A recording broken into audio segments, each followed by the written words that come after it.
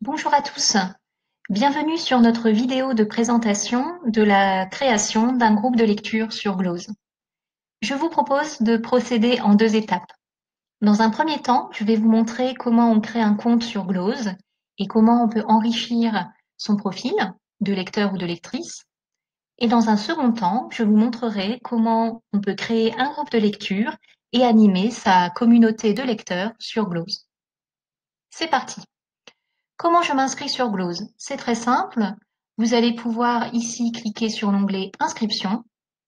Et une fois que vous avez accepté les conditions générales de Glose, vous pouvez vous inscrire avec Facebook, avec Google ou avec votre adresse mail.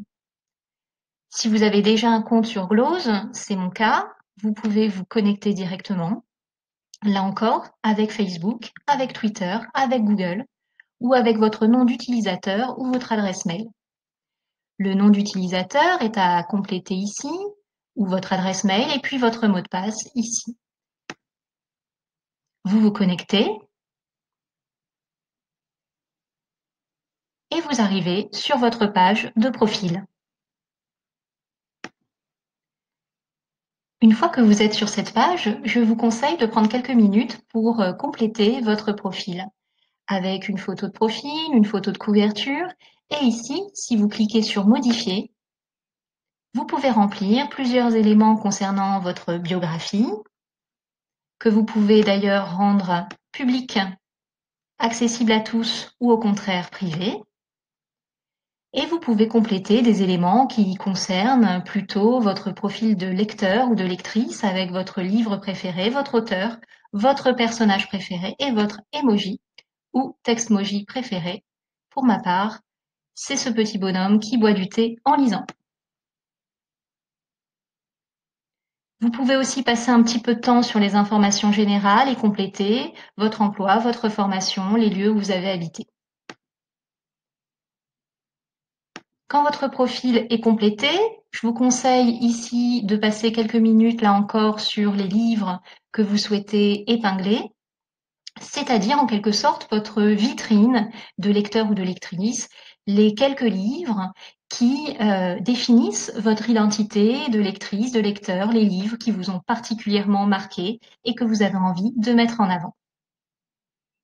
Vous avez ici ensuite le fil d'actualité, votre propre fil d'actualité, qui va récapituler toutes les interactions que vous avez avec le réseau social de lecteurs, donc vos amis sur Glose, ou les membres de vos différents groupes de lecture, mais ça récapitule également les interactions que vous faites vous-même au sein de vos différents livres, c'est-à-dire les éléments que vous allez surligner et qui vous intéressent, les commentaires que vous pouvez laisser dans les marges des différents ouvrages, etc.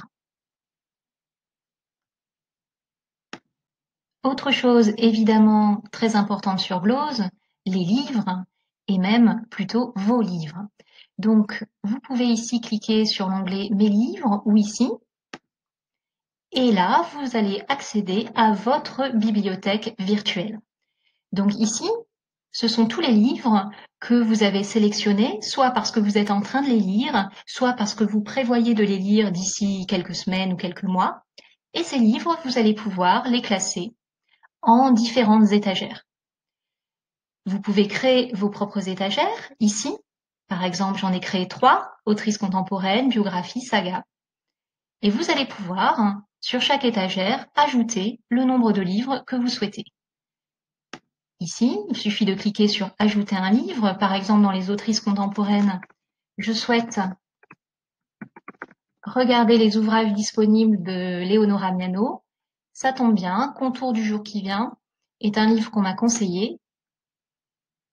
Je l'ajoute directement sur mon étagère avec l'idée de le lire plus tard. N'hésitez pas, en tout cas, à vous promener, voire à vous perdre dans notre librairie numérique, puisque Glose dispose de plus d'un million d'ouvrages et je suis sûre que vous y trouverez euh, ce qui vous conviendra. Quand votre profil est complété, que votre bibliothèque est constituée, vous allez pouvoir créer votre groupe de lecture. Donc vous voyez, moi j'en ai créé plusieurs. Vous, vous allez pouvoir cliquer ici sur Nouveau groupe de lecture. et décider qui accède à ce groupe. Est-ce que vous le rendez entièrement public? Est-ce que vous le réservez à vos amis? Et si vous êtes professeur, enseignant, si vous souhaitez créer un groupe de lecture avec votre classe, nous vous conseillons de vous rendre directement sur notre plateforme Glose Éducation qui prévoit des modalités spécifiques pour les élèves et les professeurs. Ici, nous, nous allons créer un groupe pour tout le monde. Il faut lui donner un nom. Par exemple, je souhaite lire euh, autour des neurosciences et je choisis de le rendre public ou privé. Ensuite, il me suffit de cliquer sur Créer pour accéder à mon groupe de lecture. Plutôt que de continuer la présentation à partir d'un groupe vide, je vous montre directement les fonctionnalités à partir d'un groupe que j'ai déjà créé qui s'appelle Confinez-moi avec une saga.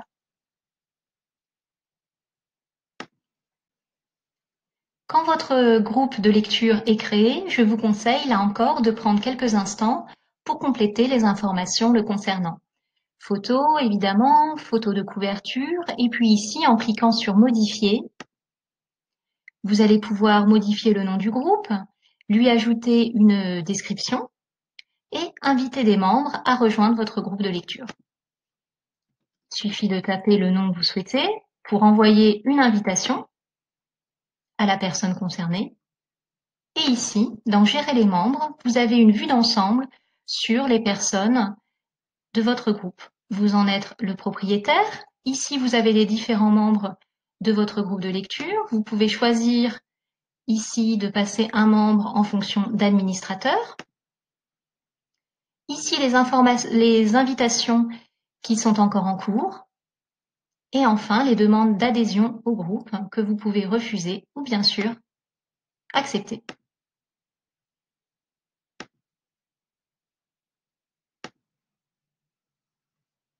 Juste en dessous de la description de votre groupe de lecture, vous avez ici, en quelque sorte, la bibliothèque virtuelle propre à votre groupe de lecture. En tant qu'administrateur, c'est à vous de faire des propositions de livres pour votre communauté de lecteurs. Par exemple, moi j'ai un groupe de lecture sur la saga, les sagas. J'ai proposé plusieurs titres à mes lecteurs et je peux évidemment ajouter les livres qui me semblent intéressants à lire ensemble. Ici, vous cliquez, vous avez une vue d'ensemble des livres propres à votre groupe de lecture et vous pouvez à tout moment choisir d'en supprimer ou d'en ajouter autant que vous le souhaitez.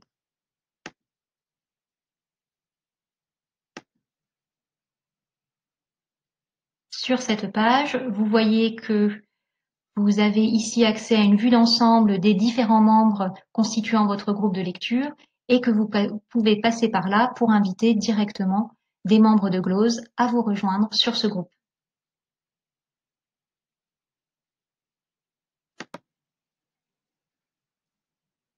Vous voyez qu'ici se situe le fil d'actualité propre à votre groupe de lecture.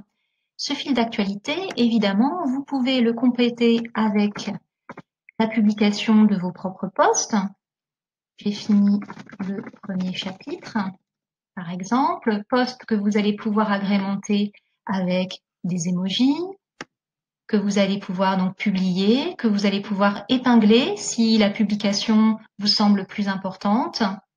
Et vous voyez évidemment que chaque publication peut être commentée par les membres de votre groupe, aussi bien avec des emojis qu'avec des commentaires.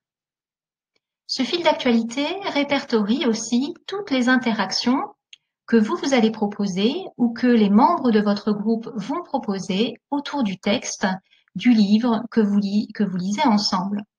Par exemple, moi j'ai proposé à ma communauté de lecteurs, à mon groupe de lecture, de lire Ring de Suzuki. Donc, je vous propose qu'on aille dans le livre directement. Voilà, je clique sur lire. Ici, vous voyez que vous pouvez afficher l'activité de votre groupe de lecture. Évidemment, puisque je choisis de lire avec mon groupe, je vais cliquer ici sur « Je choisis de lire avec Confinez-moi avec une saga, mon groupe de lecture ». Ici, donc, je peux continuer ma lecture et je peux voir sur le texte les différentes interactions qui ont été proposées par mes lecteurs.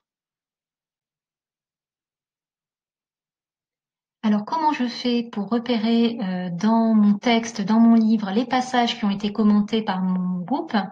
C'est simple en fait, au moment où je lis, je peux voir dans les marges, par exemple ici, les annotations qui ont été laissées par les différents membres de mon groupe. Ici, Aurélie et Christophe ont réagi à ce passage et je peux moi-même répondre, faire une réponse plus collective et cette réponse peut être écrite ou enregistrée puisque je peux enregistrer ma voix directement ici. Bien sûr, je peux moi-même proposer un passage à commenter ou à regarder de plus près avec les membres de ma communauté. Par exemple, ici, je peux, voilà, surligner un passage qui m'intéresse, ajouter un commentaire,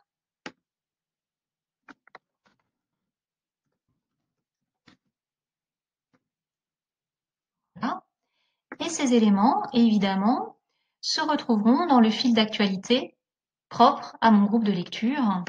Par exemple, ce que je viens de surligner, je vais le retrouver ici. Tous les passages que vous surlignez au moment où vous lisez le livre que vous avez proposé à votre groupe se retrouvent dans le fil d'actualité du groupe. C'est le cas par exemple ici des citations que j'ai proposées, mais c'est aussi le cas évidemment des citations proposées par les membres de votre groupe.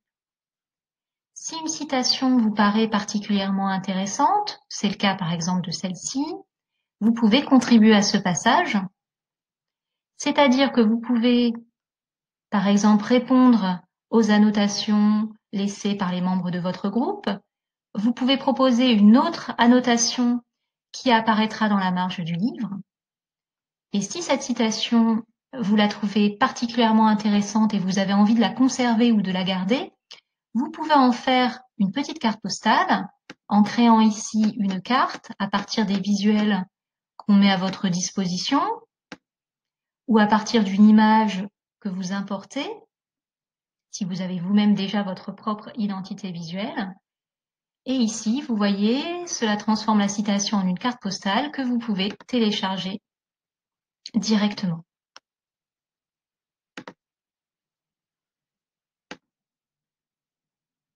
Voilà, eh bien je vais m'arrêter là pour la présentation des principales fonctionnalités de Glose, du moins en ce qui concerne les groupes de lecture, et je vous donne rendez-vous d'ici quelques jours pour une nouvelle vidéo qui sera consacré à la mise en ligne de vos photos sur le fil d'actualité de votre groupe de lecture.